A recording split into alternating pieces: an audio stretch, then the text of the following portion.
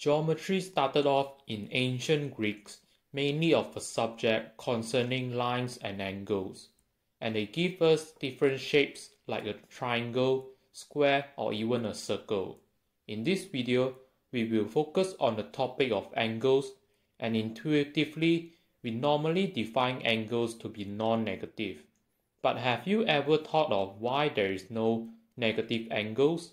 Since negative numbers do play a significant role in arithmetic, there should be negative angles, right? Well, as counterintuitive as it may seem at first sight, but we do use negative angles in Euclidean geometry. And if you have solved Olympiad geometry problems before, then the concept of negative angles, aka the directed angles, is a really useful tool in dealing with configuration issues in Euclidean geometry?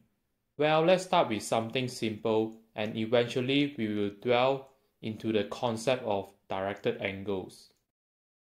Consider two different configurations. Let A, B, C, and D be four points, no three points are collinear. In the first configuration, A and B both lie on the same side of CD. We know that in this case, ABCD is a cyclic quadrilateral.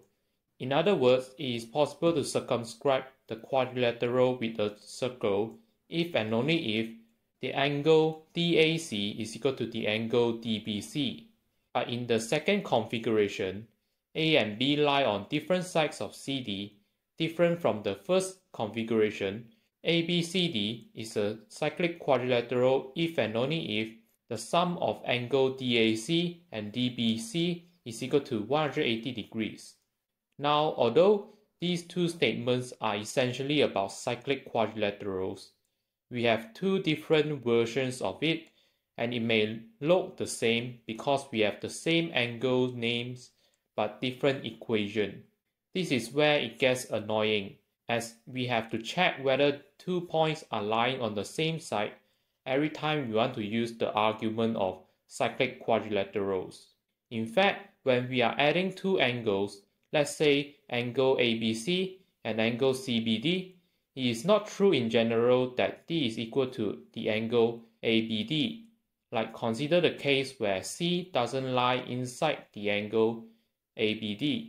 This relation clearly doesn't hold as the sum is larger than the angle ABD. So this is a problem when it comes to angle chasing, as you'll be worried that the configuration that you are working with may not be the only possible configuration for the given problem, and what you have done for the particular configuration doesn't necessarily hold for the another configuration, as usually in Olympiad geometry problems, it is more likely to have more than one type of configuration. So how can we fix this? Well, this is where we will introduce the concept of directed angles. To start off, consider two non-parallel lines, line 1 and line 2. We will define the directed angles as the measure angle starting from line 1 and ending at line 2 in a counterclockwise manner, denoted by the directed angle starting from line 1 to line 2. So, for example, the two lines A and B on the screen right now has a directed angle of 30 degrees starting from A and ending at B. If we instead take the directed angle to be starting at line B and ending at line A, then the directed angle in this case will be 150 degrees. Notice that now the directed angle from A to B plus the directed angle from B to A is equal to 180 degrees. More generally, given any two lines, line 1 and line 2, this property holds where the sum of the directed angle from line 1 to line 2 and the directed angle from line 2 to line 1 is equal to 180 degrees. But this can be improved to be better suited for angle chasing, where we will instead take the directed angles modulo 180 degrees.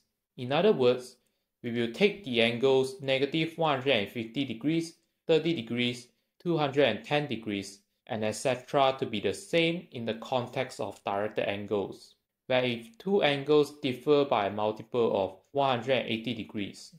Notice that we now allow negative angles in our definition of directed angles, as we see that the directed angle from line 1 to line 2 is equal to the negative of the directed angle from line 2 to line 1, which corresponds to measuring angles in clockwise manner to be negative, and for convenience sake, we will write the direct angles as this form to denote the direct angle from line AB to line CB, measured counterclockwise. Well, just to make things simpler. Or in other words, we define the direct angle ABC to be equal to the direct angle starting from line AB and ending at line CB. Observe that if two lines, line 1 and line 2, intersect at B with A on line 1 and C on line 2, then the direct angle of ABC is equal to the direct angle starting at line 1 to line 2. Next, I will now discuss a few properties of direct angles. The first property will be on the cyclic quadrilaterals. Going back to our cyclic quadrilateral ABCD, we see that the two cases can actually be rephrased into only one equation using directed angles, and that is quadrilateral ABCD is cyclic if and only if the directed angle DAC is equal to the directed angle DBC. Now take a moment to convince yourself that this is true for any configuration, whether it is the case where points A and B lie on the same side of line CD or not. If A and B both lie on the same side of CD, then both angles have the same direction and thus they are the same. Whereas if they lie on different sides of CD, then we can see that two angles have opposite direction and so we can write the direct angle of DBC as negative of the direct angle CBD. And since we are working modulo 180 degrees, this is also the same as 180 degrees minus the direct angle of CBD. Rearranging this equation, this is the same angle condition that we have previously. The next one is the angle addition postulate. Going back to our previous argument, we see that when we are adding two angles, angle ABC and angle CBD, a stronger statement would be the sum of the direct angle of ABC and the direct angle of CBD is the same as the direct angle of ABD. Again, take a moment and verify it yourself. Well, it is obvious when C is inside angle ABD, but when it's outside, then one of the angles will be negative, which is what we expect it to be to make the general equation to be true. Afterwards, we have the sum of angles in a triangle. Given points A, B, and C, we have the sum of the direct angle of ABC directed angle of BCA and the directed angle of CAB is 0. To visualize this, notice that they are all in the same direction. So this means that they have the same sign and therefore they must add up to 180 degrees, which is 0.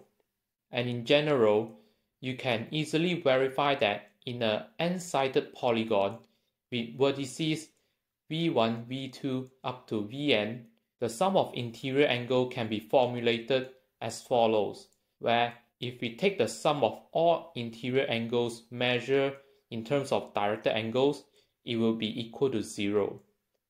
The very last property that I have for you is the collinearity condition, which says that three points A, B, and C are collinear if and only if the directed angle of XBC is equal to the directed angle of XBA for any point x. Take a moment and ponder about it. Well, this condition has two directions. The first direction is if these three points are collinear, then the angle condition must hold, which is obvious since the angles formed by lines XB and BA, lines XB and BC will be the same. For the other direction, we want to show that if the direct angle of XBC is the same as the direct angle of XBA, then the points A, B, and C are collinear. Well, notice that we can rewrite the angle condition as the direct angle of XBC minus the directed angle of XBA is 0, which is the same as saying the direct angle of XBC plus the direct angle of ABX is 0. But by our previous angle addition postulate, we know that this implies that the direct angle of ABC is 0, which is true only when AB and C are collinear. Now if you have reached here, make sure to subscribe to the channel and the tools covered in this video is actually insufficient to solve contest geometry problems. If you want to learn how to apply directed angles, then click on this video on the screen right now and I will see you there.